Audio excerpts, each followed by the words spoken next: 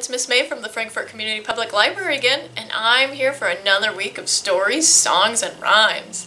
This week's theme is primates. Do you know what primates are? Monkeys and apes are primates. Do you know how to tell a monkey and an ape apart? Well, this week we're going to find out. So, a couple of my favorites are orangutans, which are apes, and tamarins, which are monkeys.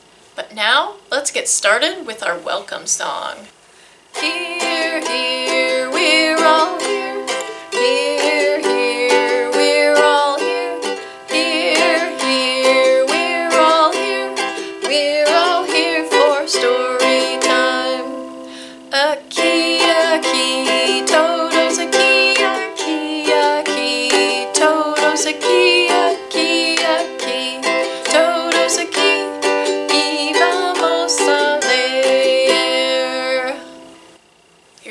song for you. It's called The Itsy Bitsy Monkey. The itsy bitsy monkey climbed up the coconut tree. Down came a coconut that bopped him on the knee. Along came his mama to kiss away the pain. Then the itsy bitsy monkey climbed up the tree again. Oh. Here's a story called One Gorilla, a counting book by Anthony Browne with permission from Candlewick Press. One gorilla. Two orangutans. Three chimpanzees. Four mandrills. Five baboons. Six gibbons. Seven spider monkeys. Eight macaques. Nine colobus monkeys. Ten lemurs. All primates. All one family. All my family. And yours. Monkeys. Monkey see, monkey do. Little monkey at the zoo. Monkey, monkey in a tree. Can you swing your arms like me? Monkey see, monkey do. Little monkey at the zoo. Monkey, monkey in a tree. Can you scratch and itch like me? Monkey see, monkey do. Little monkey at the zoo. Monkey, monkey in a tree. Can you eat a banana like me? Monkey see, monkey do. Little monkey at the zoo. Monkey, monkey in a tree. Can you clap your hands like me? Monkey see, monkey do. Little monkey at the zoo. Monkey, monkey in a tree. Can you stamp your feet like me? Monkey see, monkey do. Little monkey at the zoo. Monkey, monkey in the tree. Can you make a funny face like me? Monkey see, monkey do. Little monkey at the zoo. Monkey, monkey in a tree. Can you turn around like me? Here's a story for you called Monkey Face. One day, Monkey decided to draw a picture of his mother. There she is. As he left school, he went walking home and he ran into Owl. And he showed Owl his picture and he said, Owl, how do you like the picture I drew of my mother? And Owl said, It's okay, but her eyes are much too small. So, Monkey gave her some bigger eyes. And he said, How's that, Owl? And Owl said, That's much better. So Monkey continued on his way. And he ran into Alligator and he said, Alligator, how do you like the picture I drew of my mother? And Alligator said, Well, it's pretty good, but she needs some bigger teeth. So he gave her bigger teeth. And he continued on his way. As he was walking, he ran into Rabbit. And he showed Rabbit his picture and he said, Rabbit, how do you like the picture I drew of my mother? And Rabbit said, It's all right, but her ears need to be much bigger. So Monkey said, All right. And he gave her some bigger ears. And then he continued on his way. And as he was walking home, he ran into Giraffe. And he said, Giraffe, what do you think about the picture of my mother? And he said, That's really good, except her neck needs to be a little bit longer. And Monkey said, Okay. So he drew her a longer neck. And he said, How's that, Giraffe? And Giraffe said, Oh, that's much better. So Monkey continued on his way. And as he was walking, he ran into Lion. And he asked Lion, What do you think about the picture of my mother? And Lion said, It's really good, except her mane needs to be a little fluffier. So Monkey said, Okay. And he gave her a fluffier mane.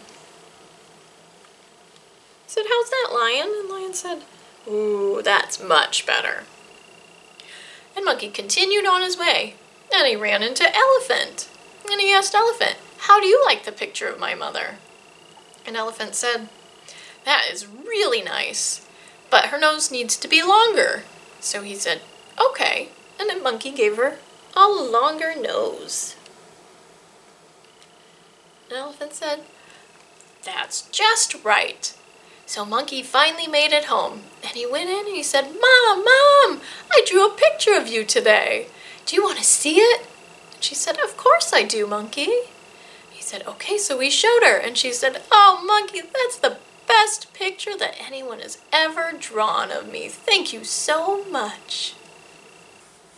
All right, everybody, now it's time to take a field trip to the Columbian Park Zoo. Are you ready to go with me? All right, so I need you to close your eyes and we're gonna count to three. And when I say open your eyes, we'll be at the zoo.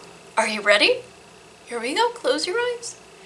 One, two, three. Open your eyes. Hi friends, I'm here today with our friend Jasmine from the Columbian Park Zoo. Hi everybody! And she's gonna tell us a little bit about their primates that they have here. Yes, I'm so glad you guys were able to join us today. I am one of the year-round educators here at Columbian Park Zoo, and we are currently in front of our spider monkey exhibit. So primates as a whole are a group of mammals that generally have large brains, opposable thumbs, live in social groups, and are usually found in forests, so rainforest, tropical forest, places where they can really climb and move around. And spider monkeys are a great primate to look at that. So over here, we have a group of five female spider monkeys in our current troop. And right now, they are currently foraging for their breakfast. So here at zoo, we know that this is not the rainforest of Central or South America where they usually live. So we want to make sure that they get a lot of exercise and a lot of mental stimulation. So a way for them to be able to get some of those natural behaviors is by using some of the fun things that we have in our exhibit. So we have lots of different branches, we have ropes, we will sometimes hide their food in buckets or puzzle feeders. We have fire hose toys that we make here at the zoo. So they get lots of opportunities, lots of enrichment. So ways for them to bring out some of those natural behaviors and make sure that their day at the zoo isn't just boring, sitting around, eating, just looking at people.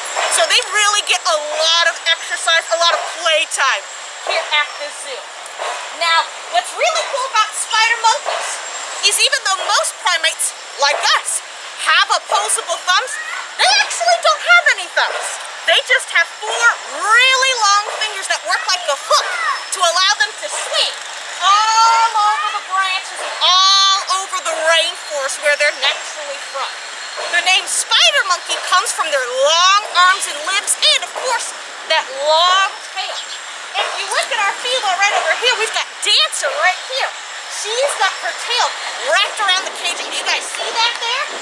That is called a prehensile tail. So what that means is it's just like a fifth arm. So she can use it to grab onto branches. She can actually hold her entire weight, her entire body, just with her tail. So they are super, super strong, which is perfect for going through the trees. They usually like to eat a lot of different things. Here at the zoo, they get fruits and veggies, leafy greens, leaf eater biscuits, and then a specific primate diet, specifically for primates to make sure they get all their vitamins and nutrients. But some of their favorite treats are also things like hard-boiled eggs, uh, sugar-free jello, and of course, my favorite sandwich, a fluffernutter, a sandwich with peanut butter and marshmallow fluff.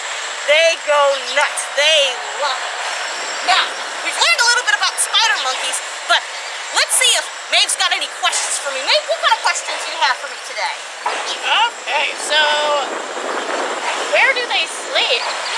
Excellent question. So spider monkeys, especially our troop here, they feel most comfortable up really, really high. So spider monkeys usually sleep in the canopies of the rainforest, very, very top parts of the trees. Now the trees in the rainforest can get very, very big, over a hundred feet tall. But that's what they're built for. That's what they're most comfortable with. Spider monkeys and other primates even have a special patch of skin on their butt to help them sit on branches to make it feel a little bit more comfortable. It's like a thickened patch of skin. So they're gonna sleep all the way up top up here. They don't sleep outside, especially in Indiana where it can get really hot or really cold depending on the time of the year. So they do come inside. They have their own indoor exhibit as well, but they're still gonna sleep really high up in those branches. Cool. So that leads me to another question. Okay? Do they sleep at night like we do, or do they sleep during the day like other Excellent animals? question. Yes. So most primates are usually diurnal. That's a big fancy word. What it means is they usually are awake during the day like us and do go to sleep at nighttime. There are a few exceptions to that rule, however. A lot of lemurs, so primates that live on the island of Madagascar, they are usually nocturnal. So that means they sleep during the day and are awake at nighttime. So spider monkeys, yes, they do sleep at nighttime just like us. So they've got a bedtime, usually around 8, 9 o'clock, just like me. Oh, just like me. yeah. Oh, what else? Let's see, do they make any noises to talk to each other? Absolutely. Primates are very, very vocal animals. I mean, you can hear me blabbering my mouth the whole time here. Now, spider monkeys do have a lot of different types of vocalizations. They can make different types of screeches, growls, hisses, and chitters. And they usually use different sounds to communicate different things. So, if a spider monkey is talking to each other, you're usually going to hear a lot of chittering noises. So, it's like a little kind of low pitched kind of chitter. When they get really upset, you're going to hear really high pitched, almost barks. It kind of sounds a little bit like a dog, and that's when you know that a spider monkey is a little upset, a little angry is when you hear those barks. Now, sometimes spider monkeys will also make other noises to intimidate other animals. Let's say there's a predator like a jaguar around, then they are going to bare their teeth and growl and hiss if they need to. So they do make a couple of different vocalizations. It just depends on their mood, just like us. Very cool. It's, I never knew they made so many noises.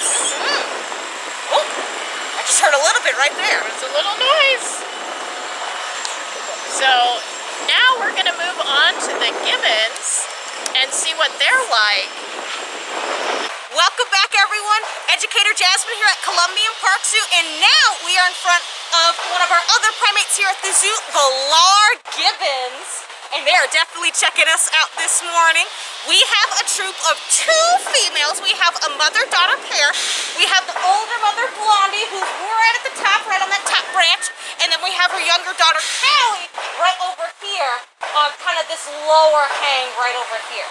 Now, you saw the spider monkeys earlier, and you noticed that the spider monkeys used their tails a lot when they were moving around in their enclosure. Now, what about the gibbons, though? You guys see any tails there? I don't see anything. And that's because they are not monkeys like spider monkeys. Gibbons are actually in the ape family, just like us. So gibbons, siamangs, orangutans, gorillas, chimpanzees, bonobos, humans, we are all apes. And the easiest way to tell the difference between a monkey and an ape is if it has a tail. If it has a tail, it's a monkey. If it doesn't have a tail, it's an ape. Easy peasy, right?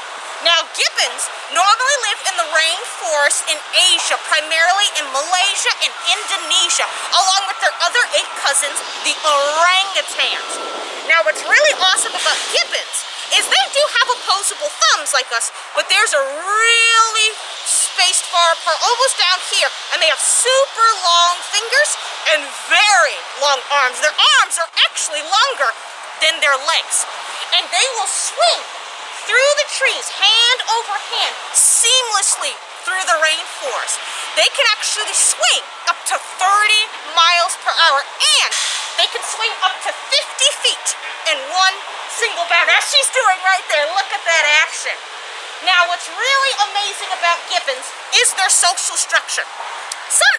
Primates, like the monkeys that we saw earlier, usually live in really big troops, sometimes over hundreds of individuals. But gibbons live in what's called our nuclear families.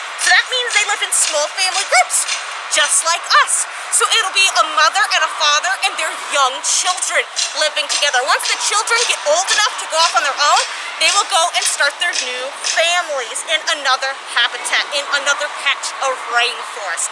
So they are very tight knit animals and they are very social. Uh, one thing that's best well known for gibbons is their song, their beautiful vocalizations. With them, usually very early in the morning and sporadically throughout the rest of the day, they will sing as a family unit that is almost hauntingly beautiful that you will hear all across the rainforest, almost up to two miles away. That's them reestablishing their bonds with each other and also establishing their territory from the other gibbon families that live nearby. So here in Indiana, there are no other gibbon families, but they're just making sure that any other gibbons around know that this is their habitat. This is their territory here at Columbian Park Zoo. Now, just like the spider monkeys, they do eat a lot of different things, so they love fruits. Over 80% of their diet is fruit. Figs in particular they love. But they will also eat different fruit, uh, leafy greens, vegetables. Here at the zoo, they do also get leaf eater biscuits and primate diet, but out in the wild, they will also eat insects and bird eggs as well. So they're what we consider omnivores.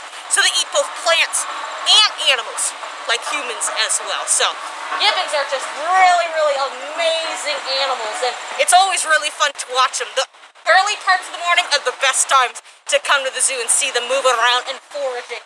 Their exhibit is set up similar to the spider monkeys where they have lots of different things to do, lots of branches, ropes, they've got stumps, they've got puzzle feeders, but right now I think they're just checking us out a little bit. I think they're wondering to see if Maeve might have any more questions. Maeve, do you think you got any more questions for me about these guys? I do. Ooh, so, my one of my questions I was just thinking about is monkeys will pick at each other. Do the gibbons pick at each other too? And why do they do that? Excellent. So yes, gibbons and a lot of primates will pick at each other. That's what it looks like. It's like they're picking through each other's fur, their hair. What they're doing is they're grooming each other. And they'll do that for two main reasons. One, to reestablish bonds with one another, to say, hey, I'm here for you, I care for you, I love you kind of thing. But they will also do that to pick up bugs in their fur. Gibbon fur especially is very thick and it helps whisk away any of the rain when it rains in the rainforest so they're not kind of waterlogged. But sometimes bugs will get in there too. So they're also picking out the bugs and eating them too. So it, it's good cleaning, good grooming behavior for them Okay. to see. So you might see some of that today uh, with the females, but I think they're really just getting some of that morning workout routine a little bit there. Everybody's got to work out. Uh-huh. Um, so another question I had, which I just lost, um, is their teeth. I know that isn't there a difference, or is there a difference between the kind of teeth that gibbons have and the kind of teeth that monkeys have? So, yes, there are slight differences. The shapes of the teeth are going to be a little bit the same, but with gibbons, since they do eat a much more varied diet from a spider monkey, their teeth are going to be very, very sharp. Since they do eat a lot of like insects and animals and that sort of thing, bird eggs, their teeth, the really sharp ones that are called canines that we have kind of right here on our mouth, theirs are going to be much more pronounced in a gibbon. You can't see it right now, but if they got upset and you saw them open their mouth and show their teeth, you're going to see a lot of those really sharp teeth. So that's why gibbons are considered one of our potentially dangerous animals. So if they happen to get loose or um, escape out into the animal house inside where they live and they happen to bite a person, it can do some serious damage. The spider monkeys have canines too, but theirs are a little bit smaller, and the way their teeth are spread out is a little bit different too. It's very different from our mouth, that's for sure. Okay. Do they like to share? It depends on what they're sharing. So just like humans, especially regards to food, sometimes they're willing to share food items and sometimes they're not, especially when it comes to their favorites. Oh, so the yes. gibbons in particular are usually very fond of like the really sweet fruits. So they usually are very fond of like grapes and berries and sometimes melons. They don't share those. No, we make separate piles for each individual because no, they will not share and sometimes fights will break out. Not so much with the gibbons, but definitely with the spider monkeys. Yeah, so it kind of just depends. But Yeah. no, they're not the best at sharing. Not the best. What about hugging? Do they give hugs to each other like we do? hug is a little bit different because for us, we see a hug as an embrace, you know, fully embracing someone as a sign of affection. Gibbons and other monkeys don't necessarily hug, but they will sometimes do kind of a side hand over the shoulder. And that's usually a sign of either affection or like a bond. So not a full-on hug, but a kind of little side. Little side this. They are. They are awesome. Oh, oh look, They go. We've got some of that grooming there. So we've got Blondie grooming Callie right now. Oh, what a good mama. She is. Does your mom ever do that to you? Groom your hair? Get it all nice Maybe and clean, maybe brush, Brush it. it? Yes. Yep. Is exactly what they're doing. That's why I love Gibbons so much. They're just like families, just like ours, and it's great to see them act like that here at the zoo. Now, as much as we love our gibbons here at Columbian Park Zoo, their wild relatives out there in the rainforest of Indonesia and Malaysia are actually in a little bit of trouble right now. A lot of gibbon species are actually considered endangered. So what that means is there's not very many of them left in the wild. And most of the gibbons are in danger because they're losing their rainforest habitat. Now, a lot of the habitat that they live in is being converted, changed into palm oil production. Now, what is palm oil? Have you guys even heard of that before? I did it not before I even started working here. I had no idea what it was, but palm oil is in a lot of things that we humans use. Palm oil is found in over half of all processed foods, beauty products, and cleaning supplies. It's found in a ton of stuff. But don't worry, there is a way that we can actually help gibbons and their cousins orangutans as well. And it's super simple. All of you guys should be able to do it at home as long as someone, an adult with you, has a mobile device like this. They can access an app called the Palm Oil app. It's from our friends at the Cheyenne Mountain Zoo. It's a free app that any mobile device can download. And it's gonna look something like this. Here, I'm gonna show you guys. Get a nice close up. So this is what the app looks like. And what you can do is if you're at the grocery store and you want to buy something that uses sustainable palm oil, so palm oil that doesn't hurt gibbons and other wildlife, that doesn't hurt the rainforest, you can find out which foods use good palm oil and which foods maybe don't use good palm oil. So, I have some tasty treats. Let's say you just finished up school. You're hankering for maybe some chocolate, nice chocolate snack. So you can either choose between a chewy bar or some Chips Ahoy cookies. But wait, we just learned about the gibbons. You want to know which food has the sustainable palm oil, the good palm oil. Well, that's where we're going to bring out that app. All you have to do, you guys see that barcode there? That app has a nifty scanner where all you have to do is you get the scanner going, you start the scan, it's gonna pop up like this. You're gonna scan the barcode in the food. and it's gonna tell you the rating. So Chips Ahoy here has a good rating, a yellow. So that means they're trying, they're doing lots of efforts to make sure that they have sustainable palm oil, but maybe they could do a little bit better. So let's see, let's go to try this chewy bar next. There we go. Now I gotta turn my thing here. Mmm, delicious. Look at that. Chewy Bar, part of the PepsiCo company, is excellent. They are making remarkable strides towards using good, sustainable palm oil. So those are really simple, easy things we all can do at home.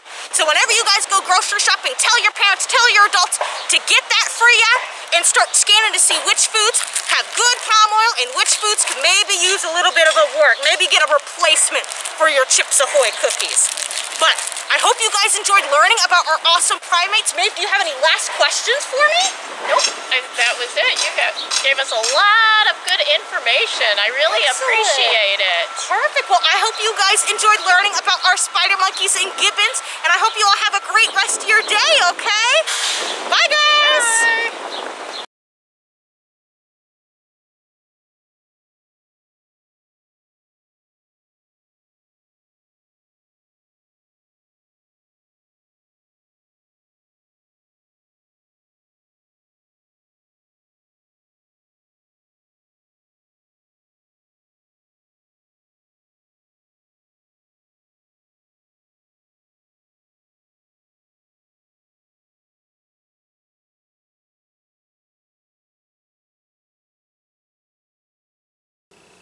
Okay, everybody, now it's time to go back to the library. So if you close your eyes again, I'm going to count to three, and then when I say open your eyes, we'll be back at the library. So close your eyes. One, two, three. Open your eyes. I have one more rhyme for you. This one's called Three Little Monkeys. Three little monkeys sitting in a tree, eating bananas, just like me. One had a frown. One had a grin. One had banana all over his chin. I have a joke for you all. What kind of key opens a banana? You don't know? A monkey! Ha ha uh, okay, everybody, that's it for today. Now it's time for our goodbye song. See